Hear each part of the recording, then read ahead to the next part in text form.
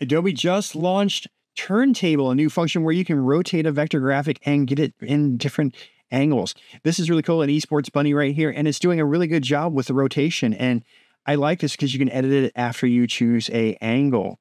Really nice. Let's try another one. Here's a mini poodle. This is based on Winnie. Now, I feel like if you go with something that's very simplistic, it will create it better. It is having a little bit of issues with the shadow on the ball, but that's okay. You can edit that later on. Okay, let's try something else out. I have a guy on a skateboard. Now, I was really shocked by this. It did a really good job with the skateboard, I think, for the most part. A couple areas it did have a little bit of problems, but I do like how he turned out. Looks really cool from the various angles.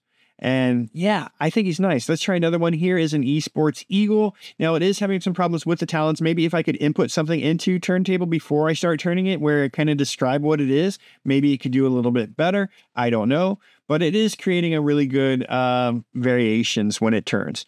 All right, let's try another one. Now I tried to this little guy right here looks like a little radio and it is having problems trying to rebuild the sides and rebuild the back and i feel like uh, every angle it looks different when you see the sides and the back but that's okay. It's going to get better. This is beta, and so it's only going to improve. Let's try something else a little bit more difficult. Uh, superhero female. All right, we're checking out the curves right here, turning her around. It's building it really well. I'm really impressed by what it's doing here.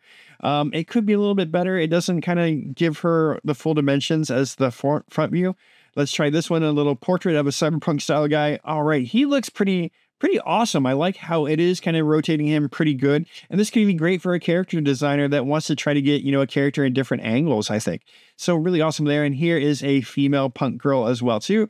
And you can see it's doing a really good job of rotating her and giving different angles and creating something that's really dynamic and detailed.